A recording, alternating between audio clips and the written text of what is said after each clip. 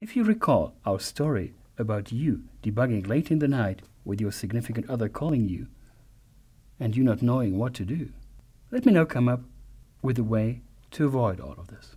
The answer here is explicit debugging. What does explicit debugging mean? It's simple. When you're debugging late in the night, that's usually because you try to keep everything in your head. You're making the hypothesis in your head, you're running the experiments, and you're keeping the results of the experiments in your head. This is okay for five minutes. But the longer this goes on, the harder it becomes to actually memorize all of this. And this is why everything gets so intense, you're so concentrated on trying to figure out what's going on. And this is why nobody can disturb you, because then you'd get out of your trance. The alternative to this implicit debugging, where keeping everything in your head, of course, is explicit debugging.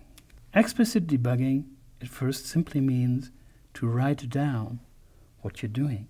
Make notes of what you see, make notes of what you expect, and make notes of what your current hypothesis is. Common format for this, for instance, is to write down what the input was, or generally what the experiment is, what you expected to see, and what you get instead. You may even want to write down the current hypothesis you're working on, and whether this hypothesis is confirmed or rejected. This way, you keep a log of your actions, and this log gives you multiple advantages.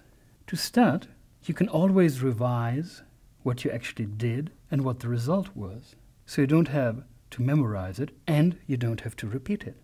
Second, you can resume the session at any time because everything is already written down. You don't have to store this in your head.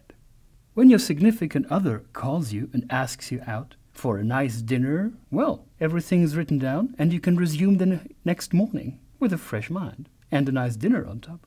The third advantage, however, is that when you write things down and see them again, this often already bears the solution at hand because forcing you to become explicit frequently makes it clear to you what the problem actually is. So it structures your thinking and it helps you organize your thinking towards successful debugging.